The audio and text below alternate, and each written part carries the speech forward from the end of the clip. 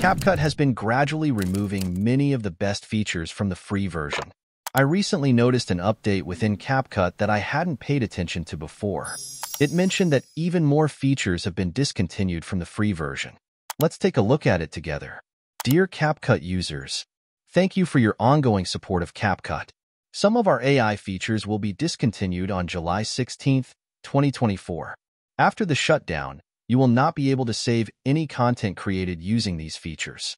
Ensure all content is saved before the discontinuation date to avoid any loss. The following features will be discontinued.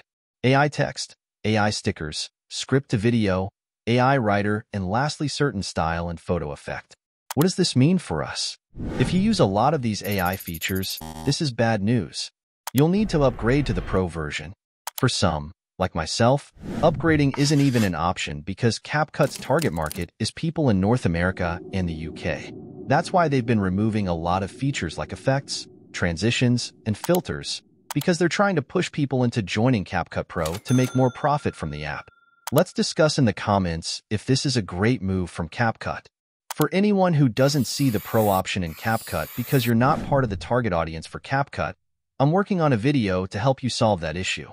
Thank you for watching this quick outdated news.